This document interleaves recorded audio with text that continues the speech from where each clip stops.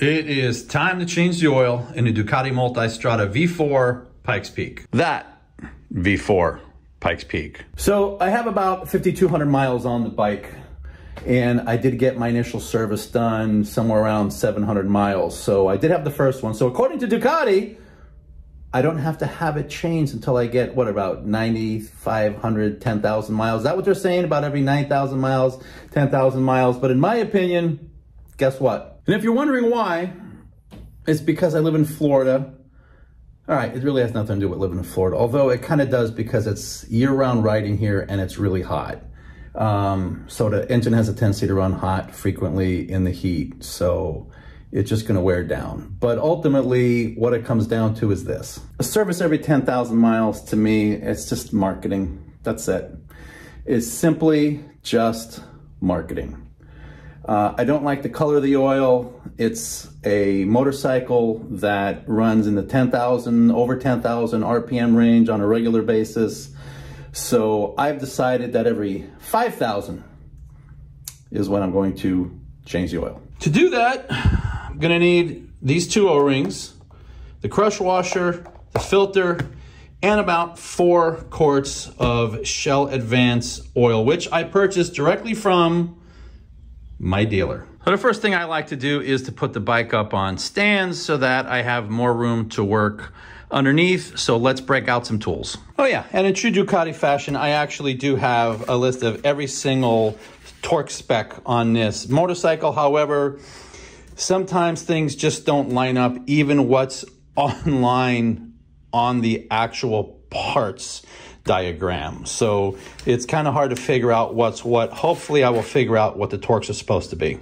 We'll see. So as you can see, I'm not losing any oil, but I'm also not really thrilled with the color of it. And let's get this party started by taking this quasi, if you want to call it a, uh, I don't know, protector here, skid plate.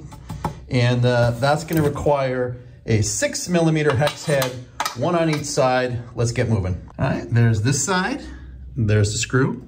All right, don't forget the little rubber bushing in here. And once you drop this down, you will expose your oil filter and easier to get to your drain plug right there. Now you don't have to do this, but I like to take the oil fill plug out, take a look at the uh, O-ring on it, and I just set it off to the side so that I have some air flow to help it drain a little bit quicker. Oh yeah, one of the things I've got to mention is that you want this engine warm. You don't want it super hot where you're gonna burn yourself, but you don't want it cold. This way the oil will be thinner and it'll come out quicker. Next up is you getting a 14, and that is a 1-4 millimeter wrench and taking out the drain plug on the left side of the engine.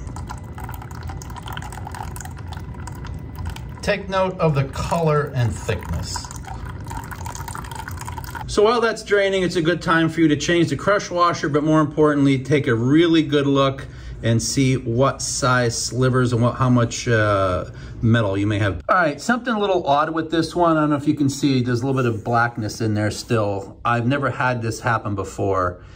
All around, it's almost like there was like rubber that had like melted around the all inside the threads and at the base there. So this is it all cleaned up or as good as I'm gonna get it cleaned up. I'm gonna put that new crush washer on, but for some reason, there was a lot of like rubbery substance. I'll show you what I'm talking about. It's this stuff right here, really weird, very rubbery. And this is what I pulled out around the drain plug. Just documenting it, not sure exactly what the hell it is. So this is why it's nice to have the engine nice and hot, or at least decently warm, is because you're gonna get everything coming out. Plus, I really wanted to see what the hell all that black gunk was that was around the plug.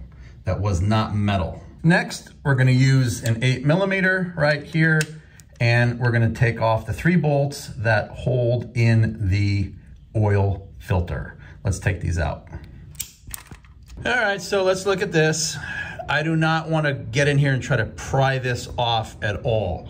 So what I found out, and I did this on the V4S, uh, these are threaded, all right? So I got and went and bought number eight millimeter bolts that I'll just put in here just like this, all right? And then they're bigger than the hole. They obviously won't fit in a hole, but the cap itself is threaded. So what I'll do is I'll just put a little 10 millimeter on here, here, and here, and I'll just slowly rotate it to push this out. This will push against the frame or, or the body here, and that'll just slowly push this off so I can pull it off. So I'm just gonna rotate, put a little, just very minor pressure, just so you guys know. So people are gonna go, oh, you're gonna mar up the surface. There is a double O-ring on this filter cover, okay? We just don't wanna create any problems, so I'm just putting a little bit of pressure on here to push this out. This is really how this is designed. Again, if Ducati has a special tool for this, that would be great. I don't know, maybe, you know, but right now I've done this before on the V4S, just enough to get some separation and open this cap up so that the cap will just come right off. So I'm gonna continue to do this until the cap can blow right off. And then it'll look like this when you pull it off. And we'll go clean this up and get these two O-rings changed. And of course, we're gonna get that filter out and get that changed. So let's let this thing drain. one of the things you're gonna wanna do is get a little bit of fresh oil on these O-rings before you put them on here. That on, you can just go ahead and get these O-rings put right in place don't know if the video is even picking this up because I have the, I'm just using the iPhone. So there's one, and there's the other with some fresh oil on it. That'll help it to go in better. There's still a nice film on it. All right, get that ready. And let's go and inspect the um, filter. See if the filter has anything gooky in it. Well, no damage to the old filter. Nothing that penetrated from the inside can't coming out. Uh, it's hard to tell from the inside because that's where all the shit is. But um, anyway, it looks normal, nothing crazy here. But again, it's always a good idea to document and take a good look at it. And when everything is open and available, it's a good idea to look in there to see if there's any chunks of anything, any anything at all, any scoring or scorching. Just take a good look inside there and start wiping it all out. And with everything looking in good shape, the rubber side goes in first and you'll feel it snap into place right there. So we're, we're in, just gotta get the cover back in and it'll center it once it goes in. It'll hold this up in place. And before I put the cap on, I would recommend putting the plug in first because this thing will drip for the next 20 years it's just never gonna stop. And what's gonna happen is while you're trying to get this on, this is gonna be dripping all over your hands. So let's go ahead and put this in first. I got the new crush washer. I do not know the specs. I'm gonna put mine to 20 Newton meters is what I'm gonna set it to. I do not know the specs of this one.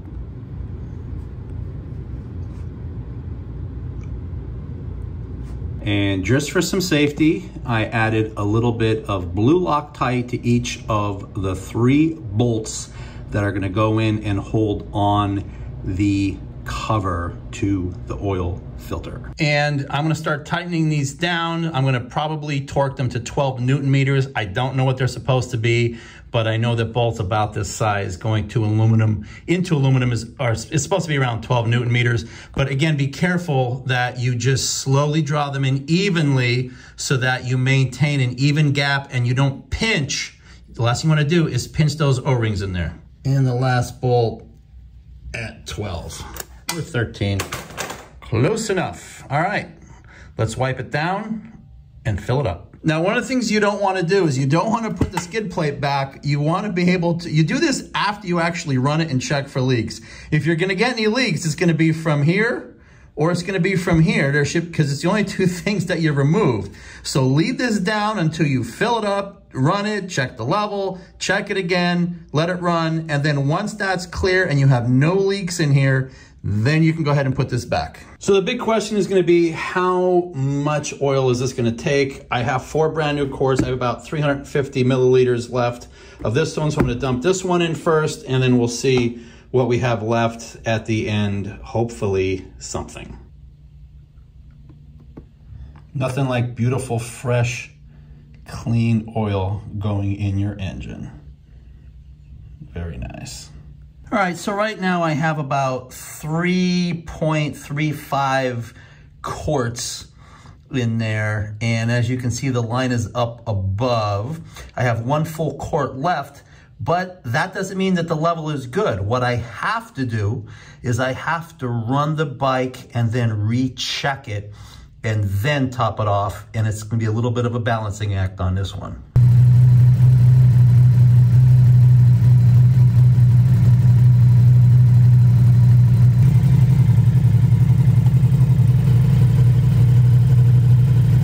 Now that we ran it for a couple minutes and let it sit for a couple minutes, obviously 3.35, whatever they are, quarts is not enough. All right, I added another half of a quart. Let's run it one more time and let it sit and double check it. That should be about perfect. Let's see what it does.